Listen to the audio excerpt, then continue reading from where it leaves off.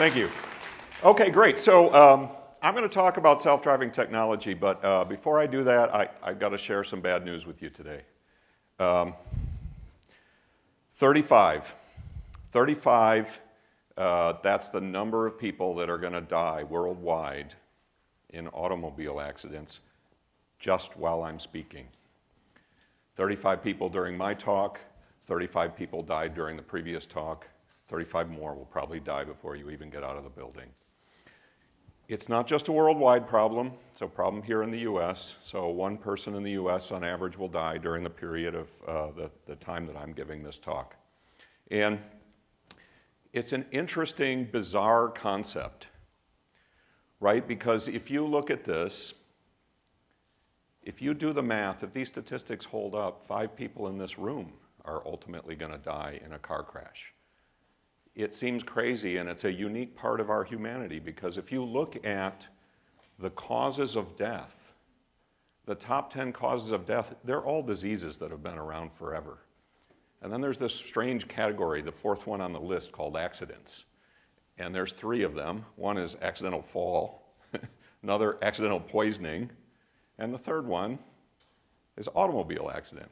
So here's this strange thing of all the ways to die, there, there's only one that's something we created for ourselves just in the last hundred years, and yet we go out and do this every day for some reason. Automobiles are unique in that way. Now you might think, okay, well, yeah, okay, things are, but things are getting better. Um, and I think uh, what's interesting is the statistics are out. Uh, 2015 uh, was the deadliest year in quite a while. There, it's actually getting worse. And the preliminary numbers for 2016 say it's another 6% worse over 2015. So this problem doesn't seem to be going away.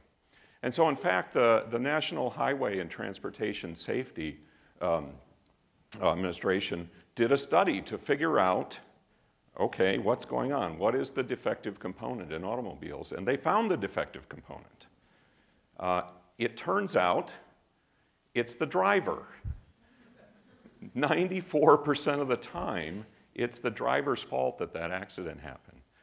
They did some more studies and they said, well, okay, what's, what's the driver doing wrong? Well, the biggest cause is what they politely call recognition error.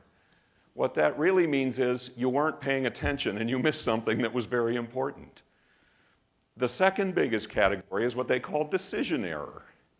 That's a polite way to say you were driving too fast for the con conditions, or you did something illegal, uh, or you just failed to figure out where the other people in your environment were going to move, and that's how you had an accident.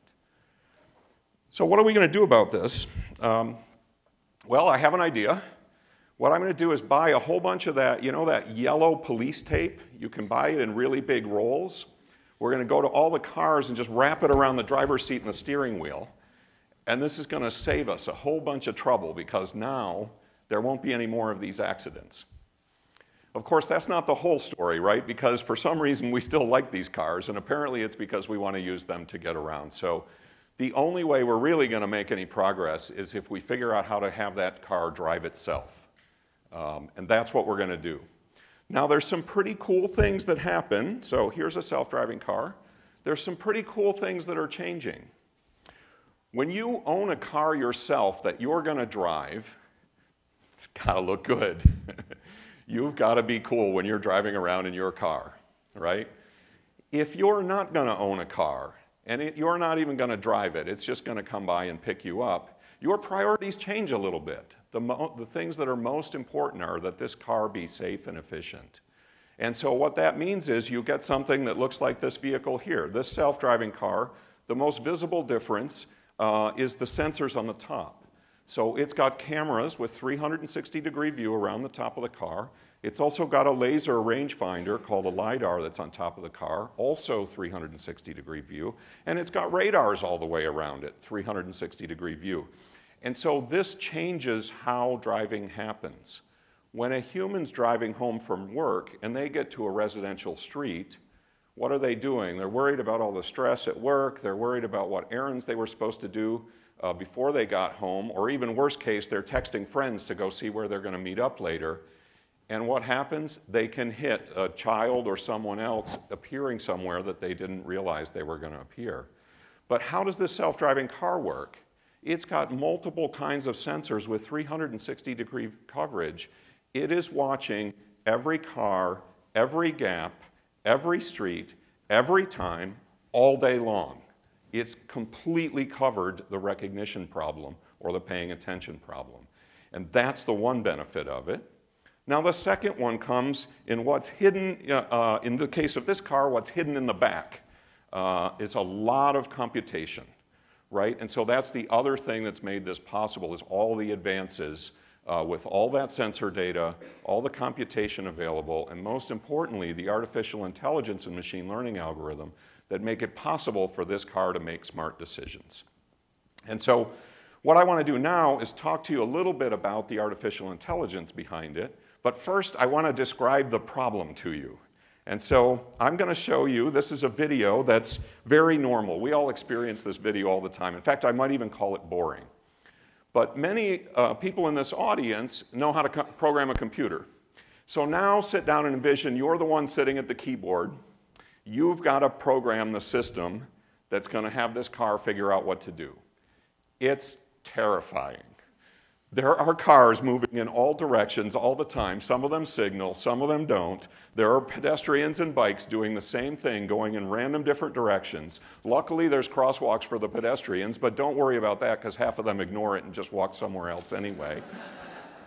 there are stop signs which you should pay attention to. There are other signs that say stop smoking. Don't worry about those. Well, you should worry about those. The self driving car doesn't need to worry about those.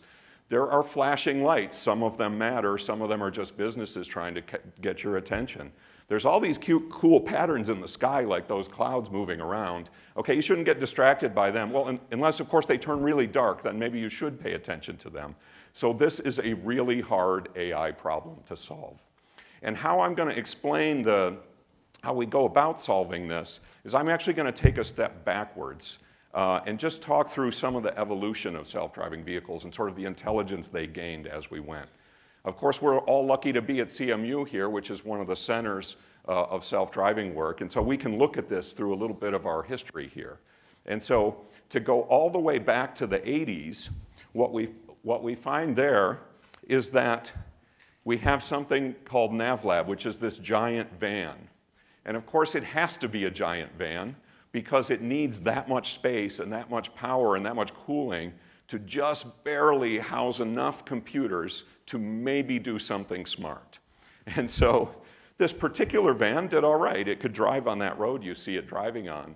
But this was a certain era of robotics where I would tell everyone the mantra was keep the video running at all times just in case it works and something good happens, right? and so the NavLab program continued throughout the 80s, um, and it reached a point where perhaps a milestone was in 95 was the No Hands Across America drive. So this was a drive from Pittsburgh to LA in an autonomous vehicle. It's kind of cool to think about, man, that was over 20 years ago that was done here. And so that vehicle drove over 98% of the way autonomously and had a 70 mile stretch with no human intervention. For those of you that are fans of deep learning or know what that was, deep learning goes in waves. It, it becomes trendy and not trendy. The previous wave uh, was when this hit, and it was called multi-layer perceptrons then rather than deep learning.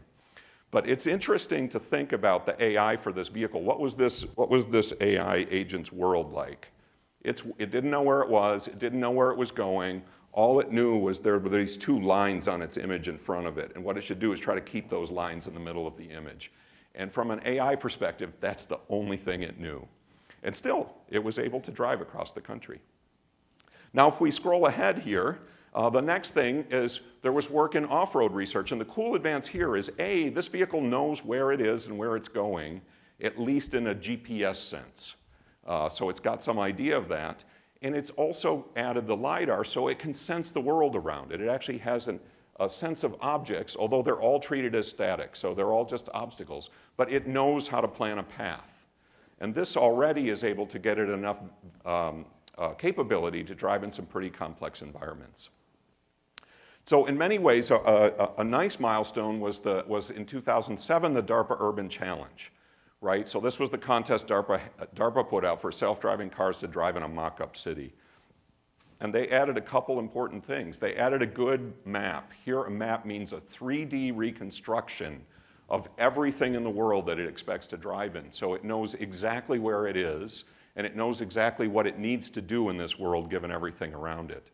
The other thing it does is it now has enough intelligence to reason about the other objects. It can say which ones are the vehicles, and it can try to predict which way they're going to go so that it can make smarter decisions. Uh, and of course, we're at CMU, so we can say, and CMU won the contest, which is also great. Another cool thing that happened at this time was that Google decided, hey, this tech's getting there. And this is when the Google Car project started using exactly this strategy for, for making self-driving cars.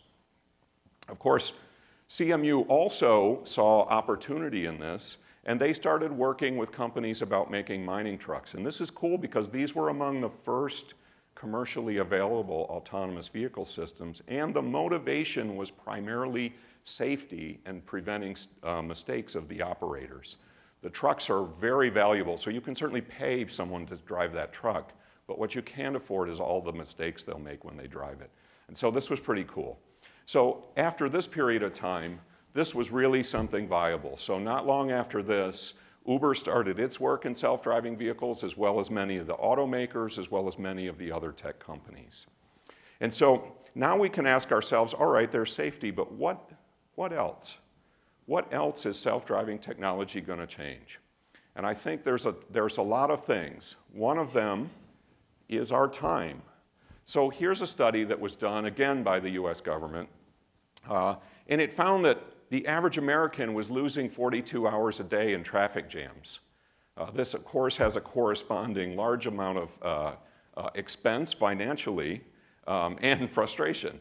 And so the point of this study was to say, okay, what, uh, what can we do about congestion? But from the point of view of someone who's thinking about having a self-driving car that they're not going to have to own and they're not going to have to drive, the loss is much bigger we spend 293 hours a year in a car, and all of it is wasted time. That's, seven, that's over seven weeks of working time that we could have back. So we could ask ourselves, what would we do with all that time if we had it back? If we listened to the earlier talk, we might procrastinate it all away. But I'm a little more optimistic than that. I think we're going to find good things to do with all that extra time. But we can ask ourselves another question. Most of the people in the audience here own a car. What's your car doing right now? Probably the same thing as mine, nothing. And so it turns out we're not the only bad guys. There's a billion cars in the world, and 96% of the time they're doing nothing. What that means is that up to 20% of the land in some cities is just dedicated to parking. For all the people in this room, it's estimated that the number of parking spots just to keep our cars occupied uh, is a good chunk of the size of the CMU campus. That is a lot of space we could have back.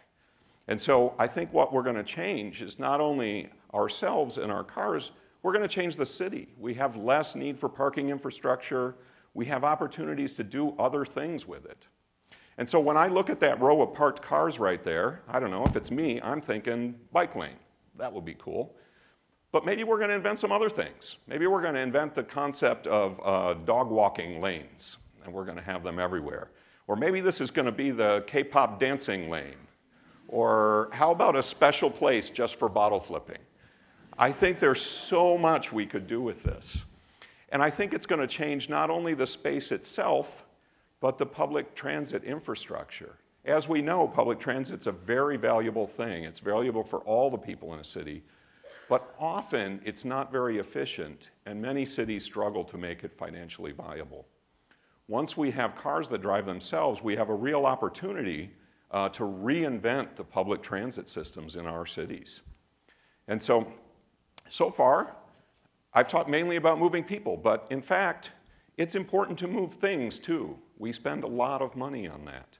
And by making the, the movement of things more efficient, it will become cheaper. All of our goods will become cheaper. all of our supply chains. Imagine you're putting your supply chain together and suddenly shipping is automatic and cheap and efficient. It's going to completely change how your company operates. Um, and so, what I want to do, uh, I'm going to wrap up here, but the comment I want to make is that this soul dream I've been telling you, people have been telling this story for decades, uh, pretty much since cars were invented, that someday these things are going to drive, drive themselves. But what's changed is now the artificial intelligence and machine learning is here. We can do this, and it's happening right now. You can take rides in that vehicle I showed you right here in Pittsburgh. You can take rides in Phoenix. You'll see self-driving cars in California, in Michigan, in other countries around the world. So for sure, the work's not done. There's more to do, and we need more help. But this is happening right now. And so what that means is, I'm going to finish with a challenge to all of us. We are on the verge of a once in a generation, maybe once in a lifetime opportunity to reinvent our lives, our city, and how all of our time and money is spent. And so the challenge is for us to figure out what, what are we going to do with all these resources that are freed up by self-driving cars. Thank you.